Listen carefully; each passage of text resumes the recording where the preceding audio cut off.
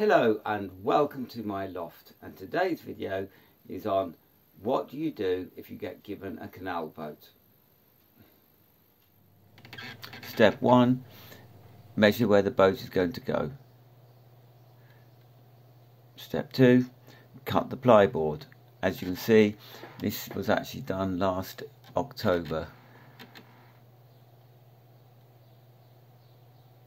and these are uh, the sad last pictures I have of Lucy the train cat who was always under my feet.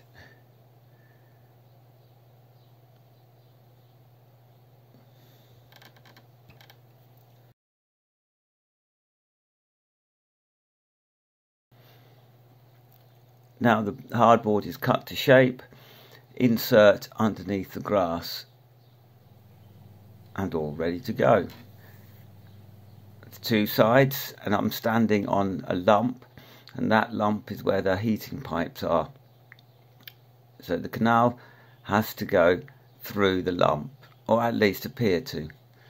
These corners they have to be movable because if the train crashes you have to be able to get the train out.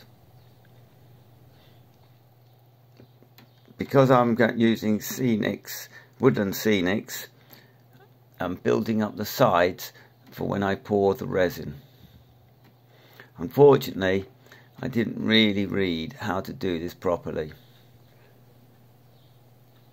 Metcalfe, I've made these myself. They're not too bad for me.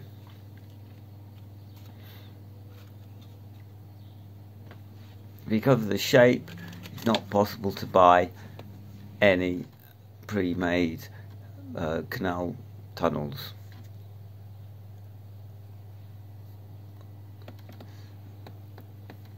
Pour the Woodland Scenics resin and I hadn't really read the blurb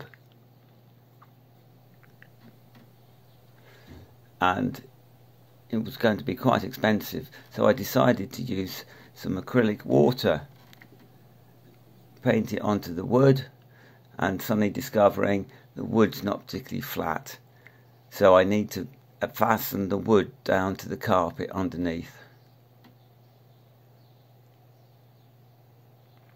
And the resin sets whoops you can see straight through the resin. I was hoping it'd be somewhat uh, thicker and uh, murky water was quite transparent let's just see what the acrylic water does on the other side. It looks fairly opaque but of course when it dries it was transparent. This is a bridge and again the acrylic water has gone black. So time to get some acrylic green paint over the resin to hide the wood from underneath.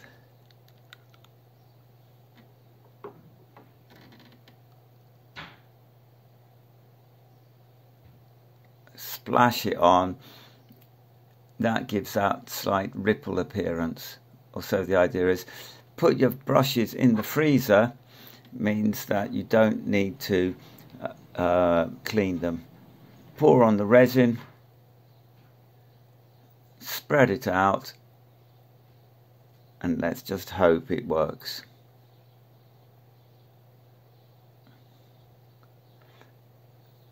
Newspaper is important to keep any bits of dust off. Acrylic water on top of the acrylic green and at this point I'm just hoping it would work. I discovered that the Woodland Scenics would cost a hundred pounds so I decided to go for option B. And let's see how good it is. I think not too bad for me.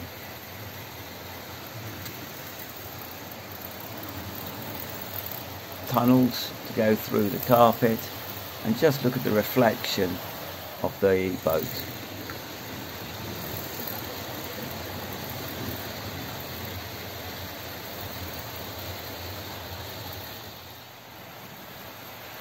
To be honest, I'm not too bothered if it's not as realistic as more able modelers, but quite respectable.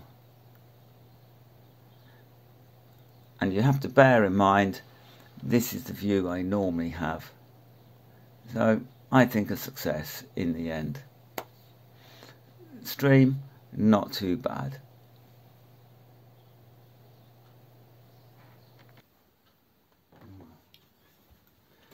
Thank you for watching and I do hope you don't make the same mistakes that I have made and I hope to see you another day.